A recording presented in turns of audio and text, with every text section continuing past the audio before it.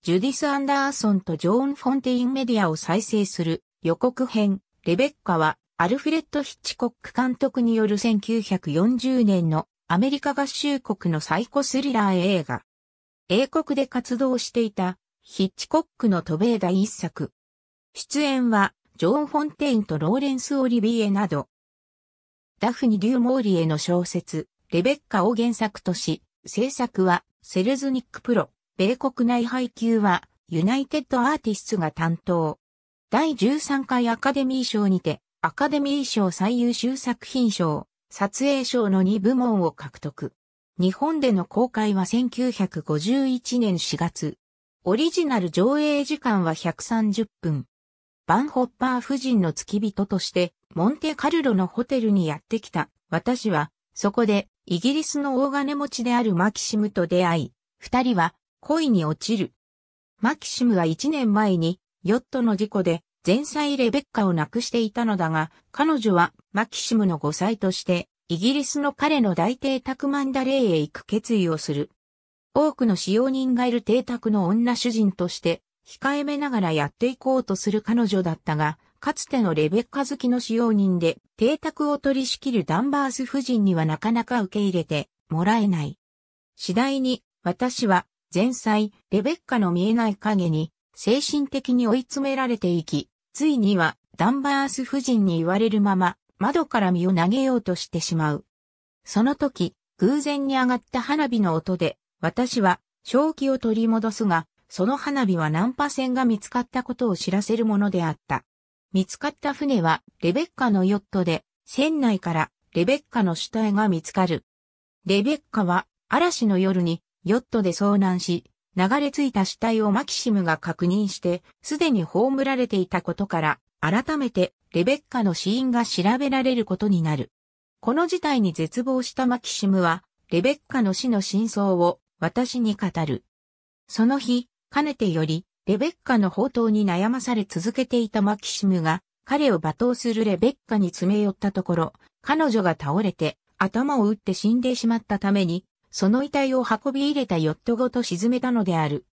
マキシムがレベッカを全く愛してなどいなかったことを知った私はマキシムを支えようと決意し、二人は互いの愛を確認する。レベッカの死に関する審問が始まる。レベッカの船の整備を受け負っていた船大工のタブの調査により、レベッカの船には意図的に中から穴が開けられていたことが判明する。レベッカの重慶と称する愛人だったジャックはレベッカが自殺するなどを考えられないことからマキシムによる殺害の可能性をちらつかせて、マキシムに金を無心する。マキシムはジャックの脅迫を跳ねのけ、逆にジャックを告発しようとする。慌てたジャックはレベッカが自分の子を妊娠し、死の当日に医師の診察を受けていたことを明かす。ところが、その医師の証言により、レベッカは妊娠していたのではなく、不治の癌に侵されていたことが明らかになり、レベッカの死は自殺によるものと断定される。実は、自殺を決めたレベッカは、自らの病を隠したままマキシムに自分を殺させようとしていたのである。レベッカによる呪縛からようやく解き放たれた二人だったが、現実を受け入れられずに狂ったダンバース夫人によって屋敷は火をつけられ、彼女と共に焼け落ちていく。ヒッチコックは制作の数年前にレベッカの映画化を検討したが、判権が取れずに断念した経緯があったため、この作品を手掛けることには乗り気だったと思われる。しかし、それまで常に自作の脚本に関与してきたのに、レベッカのシナリオには参加できず、しかも制作中に、プロデューサー、デビッド・オーセルズニックから多くの横槍が入っており、ヒッチコックにとっては大いに不本意な制作環境であったという。セルズニックは配役にあたってオリビア・デ・ハビランドを主人公にと考えていたが、彼女はすでにサミュエル・ゴールドウィンの作品の出演が決まっていたので諦めた。その後彼女の妹のジョン・フォンテインに打診したが、彼女のエージェントは全く別の女優を推薦してきた。結局ロレッタ・ヤング、ビビアン・リー、アンバクスターで出演させているなども選択肢になったが、特に役作りの上で、ヤングとリーは間違った選択になると思い、結局ジョン・フォンテインに落ち着いた。しかし、当時のフォンテインは大スターではなかったため、スタジオ側は彼女が主演と聞いて落胆したと伝えられる。セルズニックはキャロル・ロンバードを主演させるために5万ドルの映画権料を支払い、男性側の主演にロナルド・コールマンを考えていた。しかし、近年発見されたセルズニックのメモによると、これではロンバードに引っ張られて殺人の陰謀に加わったような印象を受けるとして、コールマンは役を降りた。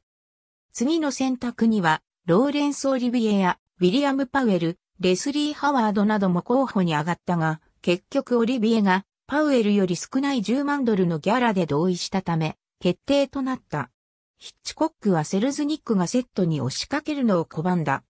その結果、ラッシュを見たセルズニックから膨大なメモを受け取るようになった。そのメモの指摘の中には、オリビエの演技のペースが遅いことも指摘してあった。オリビエとしては、当時の恋人、ビビアン・リーとの共演を望んでいたため、撮影中、ジョーン・フォンテインには冷たい態度をとった。オリビエの態度にフォンテインが恐れを抱いたのに気づいたヒッチコックはスタジオにいる全員に対してフォンテインに対して辛く当たるように伝えた。これによってフォンテインから恥ずかしがりで打ち解けられないという演技を引き出したのであった。劇中、フォンテイン演じる主人公のファーストネームは一度も語られることはない。原作者のデュ・モーリアは撮影中セルズニックにダフネと名前を付けるように頼んだが断られた。ダンバース夫人は登場する際に歩く描写はほとんどなく気づくと主人公の近くに立っている。これはもちろんヒッチコックの演出である。幽霊のように突如現れるイメージを繰り返すことでダンバース夫人が亡きレベッカに取り憑かれた主人公と対峙する側の存在であることをヒッチコックは強調している。セルズニックはロケ地としてニューイングランド地方を中心に米国中を探させたが、ぴったり条件に合う場所がなかった。そこで円形はミニチュアで作られたが、この世ならぬ雰囲気を醸し出すためにはかえって効果的であった。またヒッチコックは屋敷の立地を示すような映像を意図的に描かず、屋敷の存在をさらに神秘的なものにしている。セルズニックは燃え盛る家の煙突から R の文字の煙を出させたかったが、ヒッチコックは技術上の困難さを理由に断った。代わりに枕の上で R の文字を炎が作ることにした。レベッカは1940年のアカデミー作品賞を受賞。ヒッチコックは監督賞にもノミネートされていたが、結局監督賞は怒りの武道のジョン・フォードが受賞した。ヒッチコックにとっては生涯唯一の最優秀作品賞であるが、フランソワ・トリュフォーとの対談でヒッチコックは、あれはセルズニックに与えられた賞だと語り、実際にオスカー像もヒッチコックには与えられなかったの一度記事であった。本作品は日本国内では著作権保護期間が満了し、パブリックドメインとなっているため、非常に安価なパブリックドメイン DVD が数多く販売されている。